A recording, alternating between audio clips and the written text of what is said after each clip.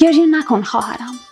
در خانهات درختی خواهد روید و درختهایی در شهرت و بسیار درختان در سرزمینت.